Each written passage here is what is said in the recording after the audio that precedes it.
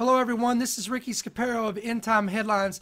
Guys, I got a message that I want to, that uh, when I was studying the other night, uh, it's out of Mark chapter 4. Uh, what you're seeing right here, Mark chapter 4, verses 35 through 41.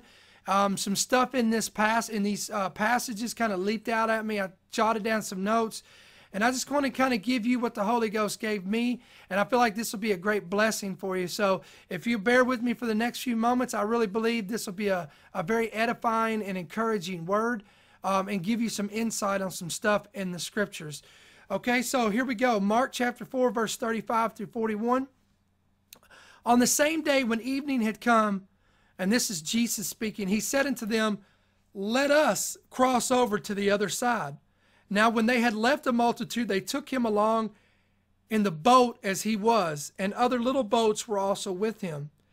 And a great windstorm arose, and the waves beat into the boat so that it was already filling. But he was in the stern. Come on, say he was in the stern, asleep on a pillow. And they awoke him and said unto him, Teacher, do you not care that we are perishing? And then he arose and rebuked the wind and said unto the sea, Peace, be still.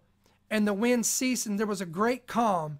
But he said unto them, quote, Why are you so fearful? How is it that you have no faith? And they feared exceedingly and said to one another, Who can this be that even the wind and the seas obey him? Okay, so I want to bring out some stuff. First of all, I want to show you uh, that they were on a mission.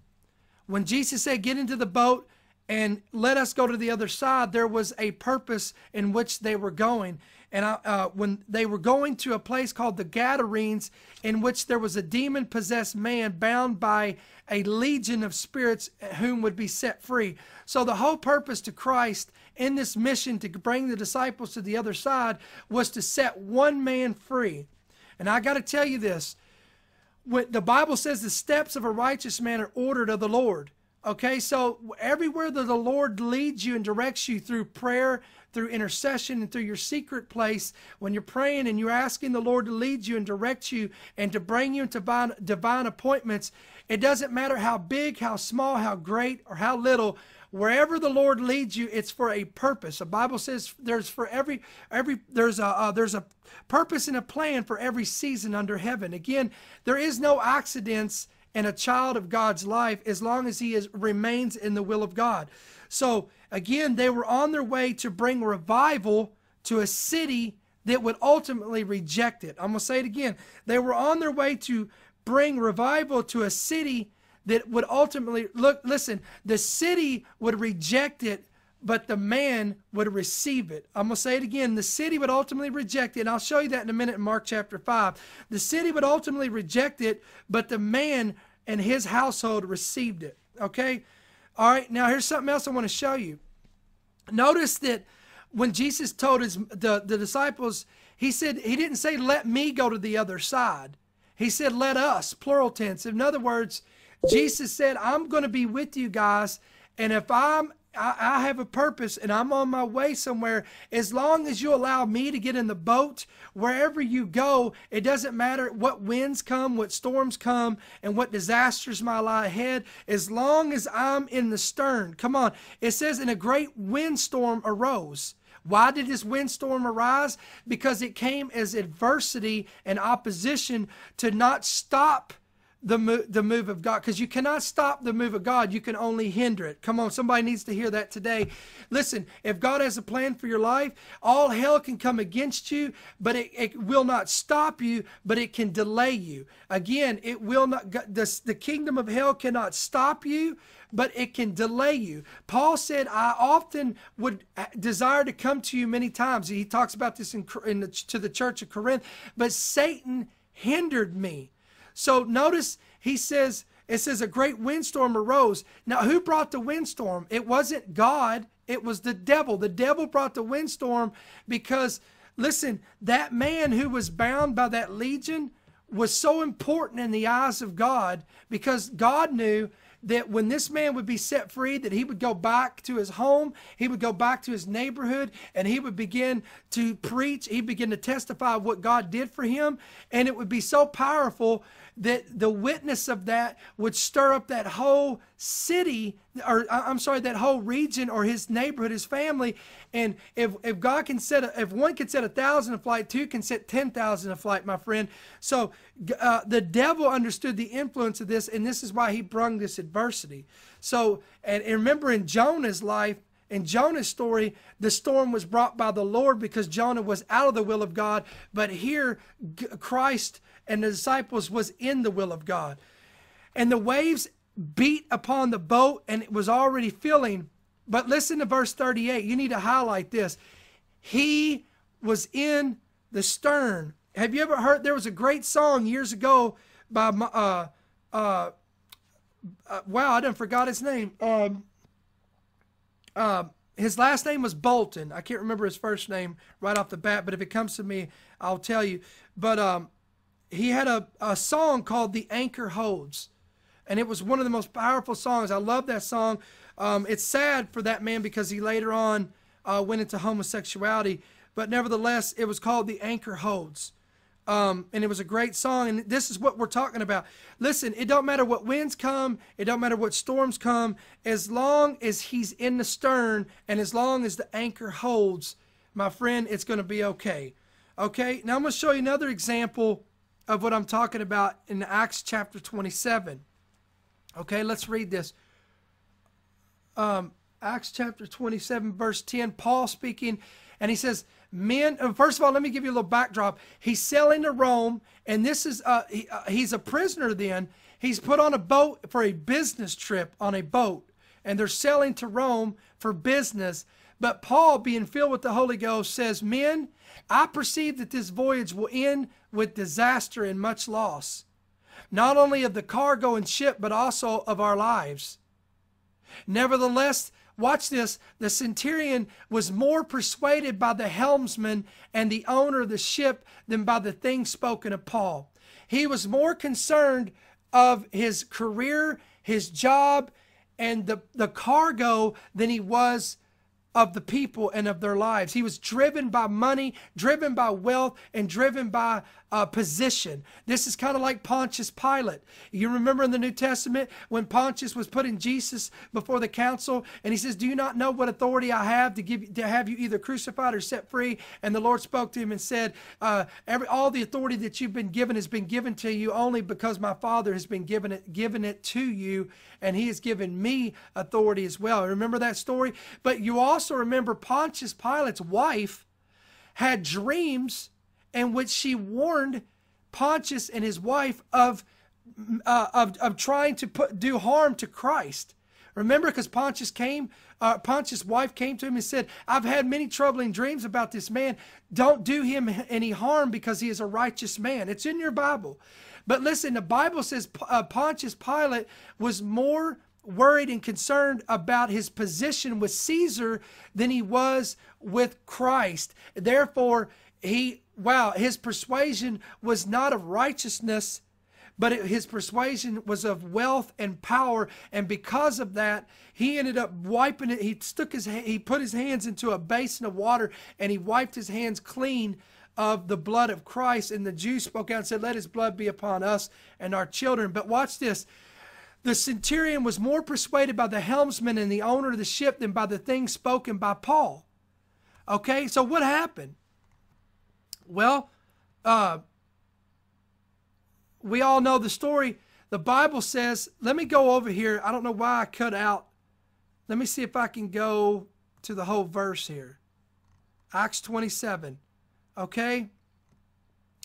Um, and then it says, nevertheless, this, and then it says, and because the harbor was not suitable to, uh, to winter, and the uh, the majority advised to set sail from there also, if by means they could reach Phoenix, a harbor of, of Crete opening towards the southwest and northwest, and winter there. Okay, now, here we go. We go down here to verse 13. When the south wind blew softly, supposing that they had obtained their desire, putting out to sea, they sailed close by Crete, but not long after a tempestuous head wind uh, that's exactly what we're talking about in, in uh, Mark chapter 4 here, uh, uh called Euroclydon. So when the ship was caught and could not head into the wind, we let her drive, and running under the shelter of an island called Clauda, we secured this, I believe that's Skype, with difficulty. When they had taken it on board, they used cables to undergird the ship, and fearing lest they should run aground on uh, the, the the the Syrtis and sands, they struck sail, and so were driven. And because we were exceedingly tempest uh, tempest tossed. The next day they lightened the ship. On the third day we threw the ship's tackle overboard with our hands. Now when neither sun nor stars appeared for many days and no small tempest beat on us, all hope that we would have been saved was finally given up. In other words, hope was depleting. But watch what happens, my friends. Uh, so it goes on. I don't want to read all this. Here's where I want to get verse 33. And as day was about to dawn, Paul implored them to take all uh, them all to take food, saying, Today is the 14th day You've waited. He, he called a fast, my friends. This is what happened. And he says to eat nothing. Therefore, I urge you to take nourishment, for this is for your survival, since not, not a hair will fall from the head of any of you. When he had said these things, he took bread and gave thanks to God in the presence of them all. So, uh, I want to read on. It says that uh, basically an angel of the Lord here it is, verse 21. I skipped over this. But after long absence from food, then Paul stood in the midst of them and said, quote, Men, you should have listened to me. Listen, you better listen to a Holy Ghost filled believer when they speak. When they speak, when a man of God or a woman of God hears from God, we need to listen. And you should have not sailed from Crete and incurred this disaster and loss. How many times has the Lord told you not to do something and you went ahead and did it? How many times has the Lord said, don't get with this girl, don't get with this guy and mess with them because it's going to be disaster, but you go ahead and do it anyway. And the Lord says, don't put money in this, don't invest in something you're going to lose, and you do it anyway. The Lord says, uh, you know, there's going to be bad storms. Don't do this. And you go ahead and do it anyway, and, and stuff happens, right? Because we go against sound wisdom, we go against the Holy Ghost. And listen, he says, and now, he says, I told you, I warned you not to sail from Crete and incurred this disaster and loss. And now I urge you to take heart, for there will be no loss of life among you, but only the ship. For there stood by me this night an angel of God to whom I belong and whom I serve.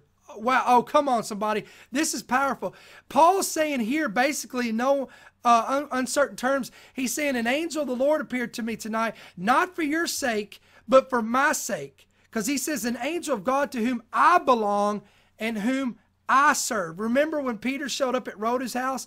And the Bible says they said, Oh, and uh, when Rhoda ran back and said, Peter standing outside, and they said, Oh, you're crazy. It, it's not Peter, it's his angel. Because, my friends, there's angels of God that are assigned to each and every one of us.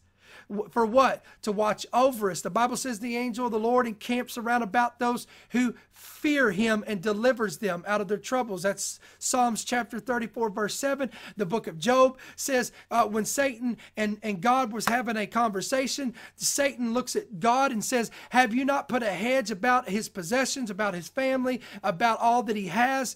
You've put a hedge about him, my friends. It's the angels of the Lord. And Paul says, that an angel of the Lord stood by him that night saying, quote, do not be afraid, Paul. You, you, not them, you must be brought before Caesar. And indeed, God has granted you all those who sail with you. Oh, I'm going to say something right here. You a lot of times, I don't know who I'm talking to right now, but somebody's listening to this and you're not even right with God, but you have somebody in your family, a friend, somebody in your church, a, a neighbor, a relative, a coworker, whatever, that is serving God. They're full of the Holy Ghost. And there's been times in your life that you should have died in a car accident, but God spared you, not because of you, because you don't even have a covenant with God, but it was because you just so happened to be in the right presence at the right time and in the right place. In the presence of who? In the presence of a believer who has a covenant with God, who has an angel of the Lord who's with them, who has a purpose, and it is not yet their time. So no devil in hell can take them out. So when you when you should have died in a car accident, but because they just so happened to be in the vehicle with you, God was not going to permit your vehicle to be in that car accident because God has a purpose for that man or that woman who is in covenant. Somebody should have, uh, there's been many altercations where uh, just because of the presence of a person with a covenant of God was around you, with you, uh, in, in contact with you, whatever, in your presence, God supernaturally spared you from whether it be a car accident, a plane crash, whatever the case may be. Man, I really feel that that that relates to somebody that you should have died, but God spared you not because of you, because you were not even in covenant with God, but because there was a Holy Ghost filled believer in your presence today. My friend, that should that should convict you if anything, and that should make you want to repent and get right with God today, my friend. But listen, here's what I want to tell you. What's my point? Paul had a purpose to get to Rome. And God was going to see to it what the devil intended for evil, God used for good to get him over to Rome because he was going to go over there and talk to governmental authority and have influence in that position. Golly, this is powerful. And there was souls to win in Rome. So my friends, there is a purpose and a plan for every season under heaven. And my friends, the whole purpose why Jesus was in the boat and the disciples to go eh, uh, to get was to get over to the Gadarenes because there was a man. Now let's go there now. Um, let me back up here. We're going to go to Mark chapter 5. So they get to, you know, we know the story. The storm comes, it beats. The disciples wake up Christ, and he says, uh, Have you no faith? He rebukes the storm. They get to the other side. Come on, they rebuke the hindrance. They rebuke the obstacles. They rebuke the adversity. Come on, some of y'all just need to. The Bible says all authority. Uh, he says, I've given you authority over over the powers of the enemy, over serpents and scorpions, and over all the powers of the enemy. The same power that raised Christ in the dead, dwell, uh, raised Christ from the dead, dwells in you and quickens your mortal bodies. Uh, greater is He that's in you than He that's in the world. He says, If you shall speak unto this mountain, be thou removed, and not doubt in your heart, but believe in those things in which you say, you shall speak into this mountain, uh, be thou removed and cast thyself into the sea, and it shall be done unto you. What mountain is in your way? What obstacle is in your way? What adversity? Some of you's been called to a region, called to a city, called to a, a family member, called to a coworker, and it seems like every day there's some adversity, there's some hell coming to get you. Well, duh, no wonder my friends, because God knows the end from the beginning, and the enemy has a a, a partial revelation because he sees the sphere the sphere of influence that that individual or individuals can have. Again, my friends, it's not about one soul; it's about all the individuals that that one soul, after they are saved, will reach. Remember, Billy Graham was just Billy Graham but that one individual that witnessed to Billy Graham had no idea that Billy Graham would be raised up to reach millions for the Lord. When when Reinhard Bonnke, who who led Reinhard Bonnke to the Lord? Well, whoever led him to the Lord had no idea in the uh, in the uh, the sovereignty of God that down the road that Reinhard Bonnke would be an apostle to the nations and reach millions. But the enemy understood this, and I guarantee if you go back and look, there was much adversity. Paul said, A great and effectual door has opened unto me, and with it much adversity. My friend, just keep pressing through, keep going through the storm, because when you get through the storm and you get to the other side, there is the man there at the Gadarenes, and here's what it is Mark chapter 5. And then they came to the other side of the sea to the country of the Gadarenes. And when he came out of the, the boat, immediately there met him out of the tombs a man with an unclean spirit who had his dwelling among the tombs. And no one could bind him, not even with chains, because he had often been bound with shackles and chains, and the chains had been pulled apart by him, and the shackles broken in pieces. Neither could any man tame him. And always, night and day, he was in the mountains and the tombs, crying out, cutting himself with stones. When he saw Jesus from afar off, he ran and worshiped him. And he cried out with a loud voice and said, quote, What have I to do with you, Christ, or Jesus, the Son of the Most High God? I implore you by God that you do not torment me. And one, one translation said, Before thy time. For he said unto them, Come out of the man, you unclean spirit. And then he asked him, What is your name? And the Spirit answered and said, My name is Legion, for we are many. He also begged him earnestly that he would not send him out of the country. And now a large herd of swine was feeding. I'm going somewhere, guys, so just bear with me. There was a large herd of swine feeding near the mountains. So all the demons begged him, saying, Send us to the swine that we may enter them. And at once Jesus gave them permission. Notice that the, the demons went into what was considered to be unclean. Then the unclean spirits went out and entered the swine, and there was about 2,000. Because remember, a legion is thousands. And the herd ran violently down the steep place into the sea and drowned in the sea. Okay, and then I'm going to read the rest of this in just a second. I'm going to show you stuff, show you some stuff that uh, that that I really want you to understand about Mark chapter five. Okay. Okay, it says first of all, Let's look at these practical application of these passages. First of all, the demon possessed man was bound and he was dwelling in tombs. Listen to me, my friend. Many believers today are bound and demonically oppressed because they make their dwelling in dead churches and hang out with dead people. Come on, somebody. Listen, how are you going to get set, set free when you're in a church that does not that does not believe in the operation of the Holy Spirit? They don't believe in the gifts of the Spirit of God. They don't believe that you can be set free because they don't even believe that you can be oppressed of the devil. They don't even believe in the devil. they don't believe in hell. They don't teach on hell. There's no, there's no teaching. There's no ministry on the operation of freedom. There's no operation and teaching on liberation. There's no operation teaching on deliverance. And because of that, they're dwelling in, there's no worship. There's no freedom and praise.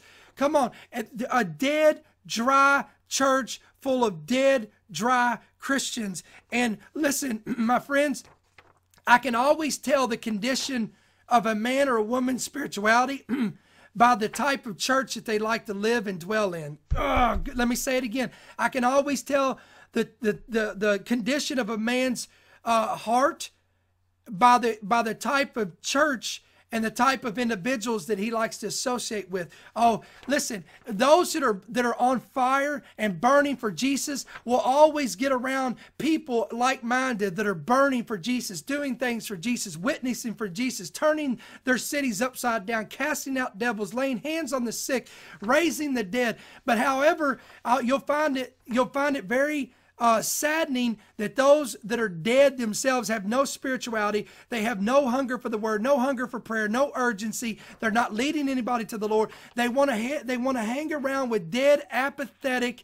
lily-livered, spineless uh, Christians that have no witness, they have no authority, they have no backbone, they don't preach on sin, they, they have no urgency for people, they don't care if people are going to hell, they don't care if they read their Bible, they have no prayer life. Come on, somebody. They're dead men dwelling in white sepulchre tombs full of dead man's bones. And it's true. So this this demon possessed man was a dead man because he was bound but he remained in dead places because as long as you're cold you will remain in cold places. But if my friend if you ever get into a place that's burning for jesus whatever is not burning in you will catch flame and start burning inside of you.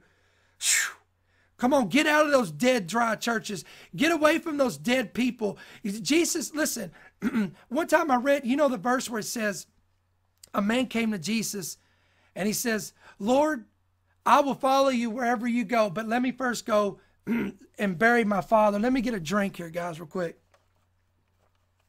Man, we were, excuse me, we were praying last night at the prayer barn in Cleveland, Tennessee, and I was praying and man, I blew my voice out and, and so it's it's trying to go back out again. So you guys pray for me. But um, the the man pleaded with Christ. He said, "Let me go bury my my father, and when I'm done with that, I'll come and follow you." And Jesus said, "Let the buried let the dead bury the dead. You come and follow me." When I first read that, I was like, "My God, man, that's that's cruel. That's rude." But the Lord spoke to me. He said, "Son, if you go back to dead things." Then it's going to come on you and what what you came out of that was dead is going to get in you and you're going to be bound by dead things and you're going to remain in dead things come on that's why you got to let the dead bury the dead you got to burn that's why a lot of you can't even uh, remain on fire for God because every time God starts a fire in you, you keep going back to dead things, and that dead stuff gets back on you, and before you know it, it chokes out of all the life out of you. Come on. Number two, it says that men try to bind this man with chains and fetters. Listen, many dead churches that are full of religion and, and the traditions of men will ne- never set people free. Instead, they always bind them, bind them with laws and regulations and rules and obligations. And remember, Jesus said these Pharisees, they'll travel land and sea and make uh, one convert worse than the, more of a worse of a, of a convert of the devil of hell than they are and they put heavy burdens on these people and they themselves won't lift one finger. My friend, when you get in dead churches that have no authority and they don't operate in the Spirit of God, all it's going to do is you're going to be in bondage because you come in and leave the you leave the same way you came in. You come in bound in chains and fetters, and you leave with bound leave bound with chains uh, uh, and, and fetters, and, and there's no authority to set you free. Not even a leadership has authority to set people free. I heard, again, I've said this before, but I heard a pastor one time with my own ears say in front of a congregation of, of over a, a couple thousand people, he said, if you hear from God, you're either, uh, either, you're either crazy or you're way more spiritual than me. Hello? My friends, you think I'm going to be in a church like that? Because if this guy can't, he's the pastor and can't even hear from God, what makes you think he's going to hear from God about what I need to be delivered out of? He's not even going to know how to set me free because he has no authority or he has no ear to God to set me free. Come on, I'm, I'm helping somebody if you'll listen to me. Okay, number three, the man cried out day and night. Many people that are in bondage are crying out day and night for deliverance and looking for a real anointing and power and move of the Spirit that will set them free. Golly. Listen, can I give you, man, I feel the Holy Ghost all over me. Just talking about this. Some of you is watching this and you you are bitter towards church and church people because you're so sick of the games. You're so sick of the protocol. You're so sick of the ritualistic garbage that's day in and day out, day out, day in and day night. The programs, the rituals, the religious protocol. You go in day and night. You you punch your card every Sunday. You do your religious duty as the deacon, as this. Some of y'all may even be pastors, and you're just so sick inside, and you're saying, "Where, oh God, where is the miracles of our fathers? Where is the power of God?" God that will set men free? Where are the intercessors that will pray until something breaks from heaven? Man, I feel the Holy Ghost. Where is the fire of God that came on the altar when Elijah prayed and he began to intercede? And you're not seeing it. You're not seeing any repentance. You're not seeing the altars filled with the with people crying and wailing and repentance and wanting to turn to God. My friend, I'm telling you,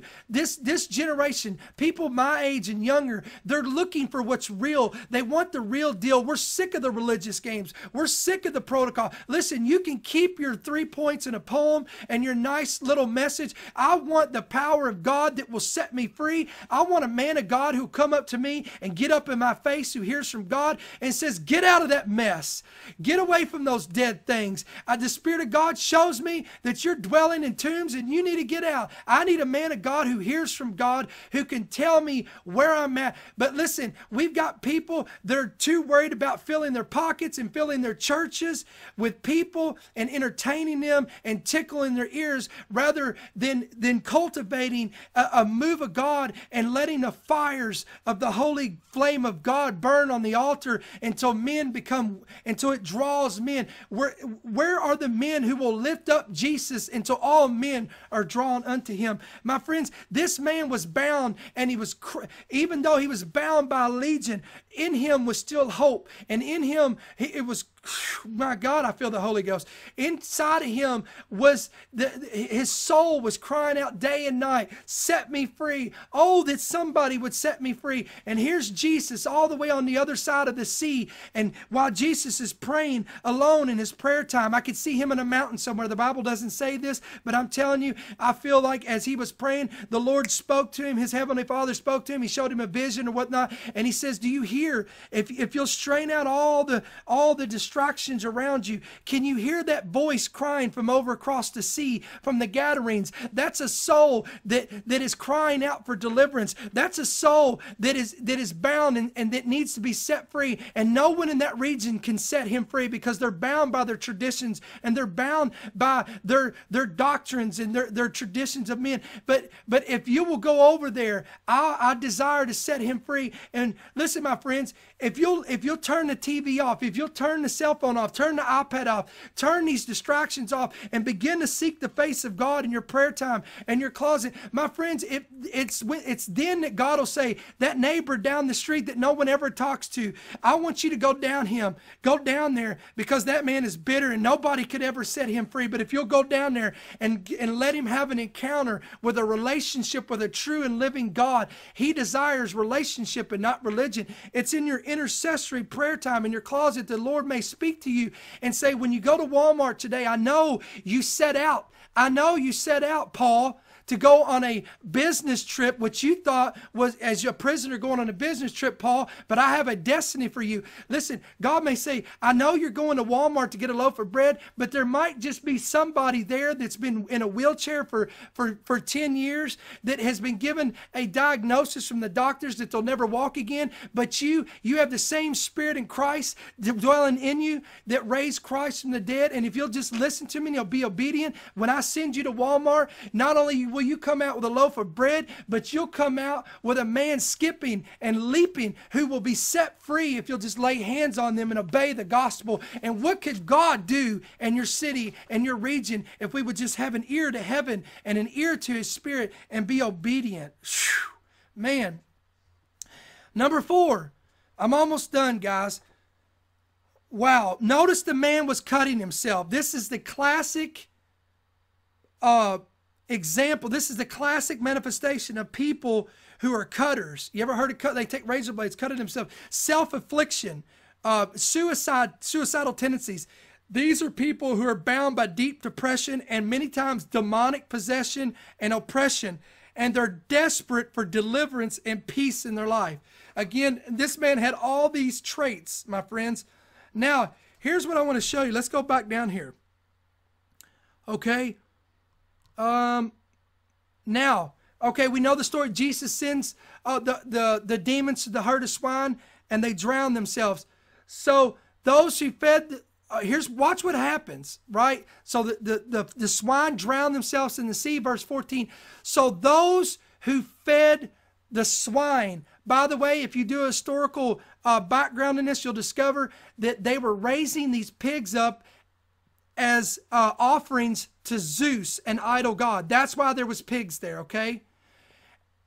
So those who fed the swine fled, and they told it in the city and in the country. And they went out to see what it was that happened. Then they came to Jesus and saw the one who had been demon possessed. Listen, the whole city knew who this man was, right? Because it says it right here. And, and they saw the one who had been demon possessed and had the legion sitting and clothed in his right mind. Now you would think when you saw this that they would be screaming, shouting, running, woo, praise God, hallelujah, revival break out in the city. No, it says they were afraid and those who saw it told them how it happened to him. So they even testify. They said, Look, this man, this Jesus of Nazareth came over here with his disciples and set this man free. And he, then he tells them the story about the swine. Listen to verse 17. Here's the sad part. Then they began to plead with Jesus to depart from the region. My friends, these people, couple things here. Ready? Number one, these people were involved in idol worship. Number two, they were afraid because no one could ever set a man free like this. No one ever had this authority. So when it came along, it they were afraid. Many of you are afraid of the supernatural. Somebody's listening to this today and you believe in what's called cessationism, which means that the Spirit of God has been departed. It means it went out with the fourth in the fourth century with the early apostles, and there's no need of miracles. There's no need of signs and wonders. And some of you, uh, you, you, so you disregard any miracles, you disregard any healings, you disregard anything supernatural. And then there's another group of people that may be listening, and you believe anything supernatural, anything miracles, anything healing is of the devil. That's the same mentality that these people had. Because when this man who was bound in chains and fetters and no man could set him free when he was setting his right man right mind instead of them embracing revival to the city they rejected it because of fear. How many things have you rejected of fear? How many people has rejected the baptism of the holy ghost? Because you were told by the traditions of men that it was of the devil and not of god. You were told not go, don't go down into that prayer line and, and get laid hands on because you're sick because that's not of the devil because God doesn't heal today. Or you you better be careful because we don't believe in all that. That supernatural stuff's of the devil. Come on, guys. That's exactly the mentality that this these individuals ha- had, and they were became they became afraid of what they did not know. Listen, ignorance is the biggest one of the biggest factors of of hindering the move of God. And then not only that, so they they begged Jesus to get out of the city. They they rejected revival. But watch. And when he so here's Jesus packing up his stuff, he gets into the boat, and here comes the man who was demon possessed, and he begged him that he might be with him. Listen, honey, I'm telling you right now, if I was bound like this guy and none of these jokers could set me free, I guarantee you one thing if somebody came along and had the power to set me free, just like Elisha, when he's when when Elijah threw the mantle on him and said, I don't know what you just golly, I feel the anointing again. Here it comes again. Whew. I don't know what you just threw on me, man of God, but there ain't nobody. I've never experienced anyone with the presence and anointing of God like you've got on you. And and I, I've been to all these places, and no one is walking this kind of authority. And I want what you've got. And my friends, if you ever experience the glory of God, you'll never be satisfied with normal. You'll never be satisfied with apathetic. You'll never be satisfied with tradition, with programs, and with religion. You will desire the deep calling unto deep, the deep things of God. My friend, this is what you will desire. And this is what happened. This man in the Gadarene said, he, he comes to Jesus and he begs him, let me go with you. And that's what Elisha did. He went and burned his oxen, the oxen, the tools that he used to work with. He kissed his mother and father goodbye and says, I'm, I'm going after this man of God.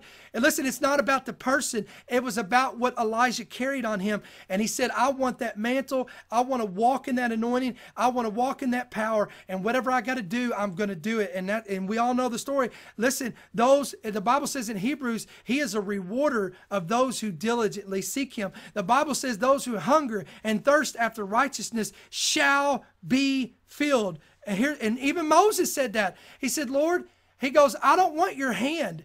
The children of Israel was satisfied with the hand of God. I want the face of God. I want the, he said, show me your glory. Remember that? And the Lord said, Moses, I can't show you my face because if I show you my face, uh, my glory can wipe out nations. It will kill you.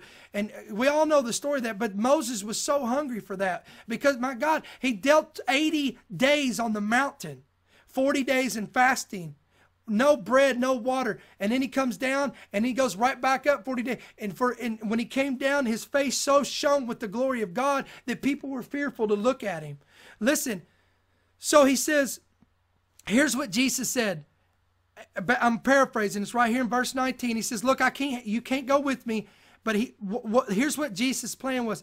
He says, "Go home to your friends and tell them what great things the Lord has done for you and how He has had compassion on you."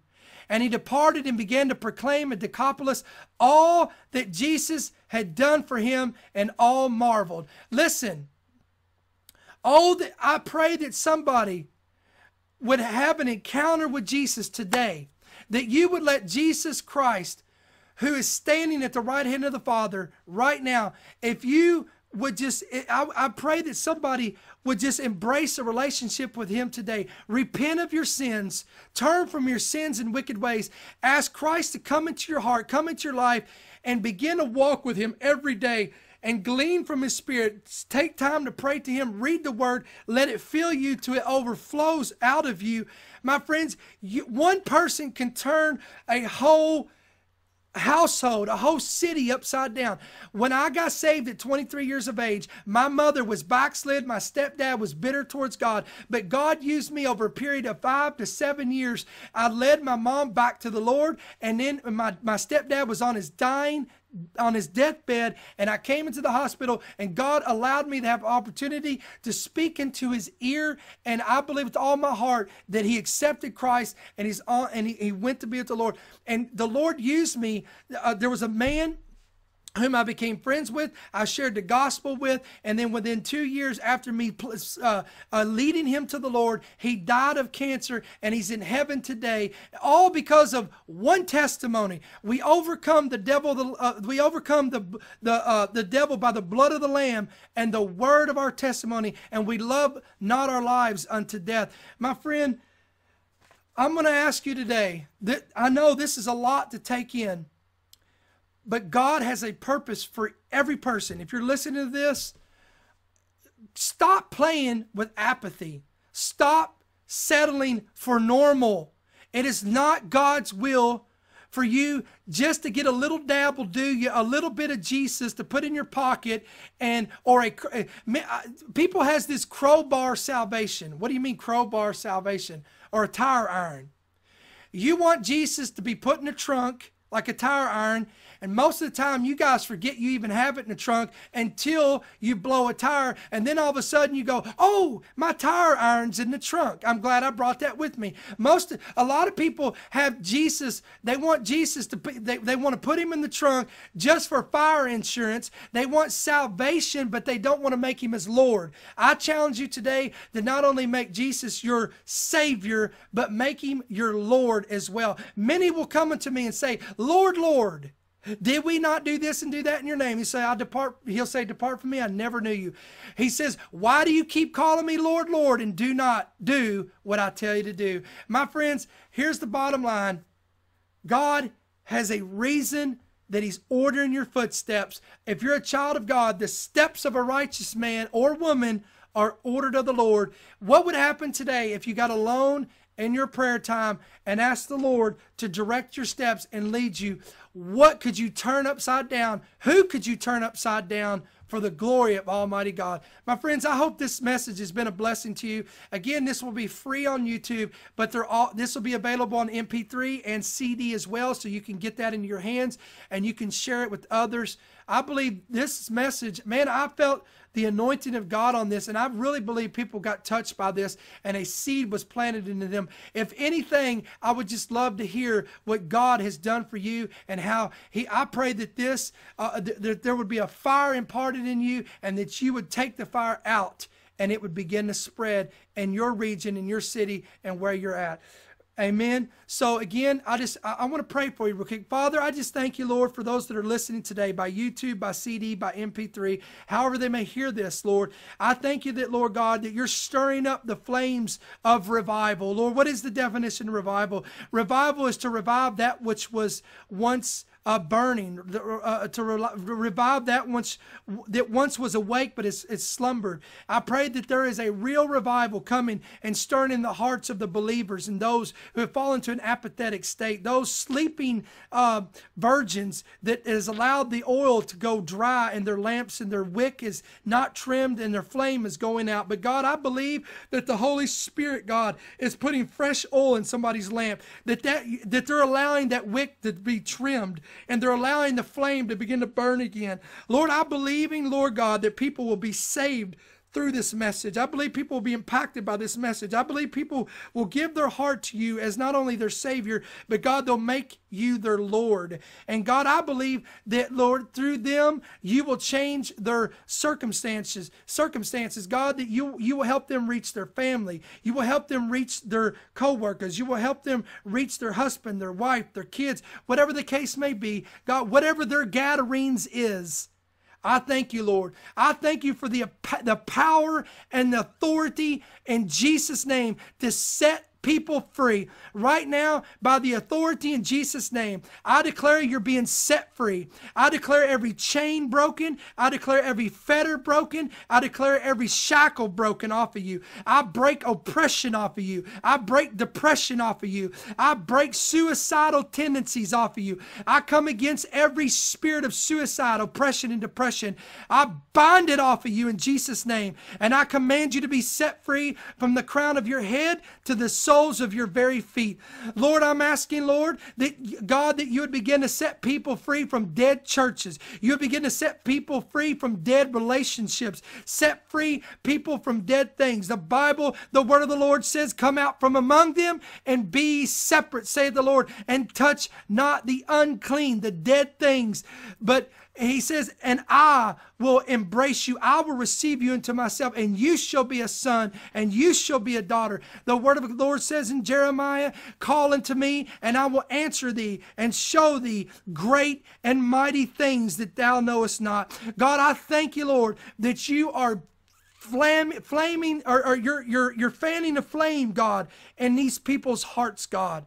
And they're beginning to burn for you again, God. And Lord, I just thank you and I praise you, God, for the great testimonies that shall come forth. Amen and amen. God bless you guys. Again, this is Ricky Scaparo. This is End Time Headlines. You